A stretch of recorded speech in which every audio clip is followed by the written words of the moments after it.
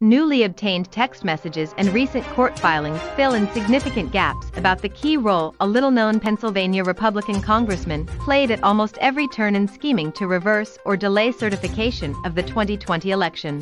New audio of House Minority Leader Kevin McCarthy, obtained and reported on by the New York Times on Tuesday, reveals he expressed concern about far-right House Republicans inciting violence against other lawmakers in the aftermath of January 6, 2021 the university is committing $100 million for an endowed legacy of slavery fund.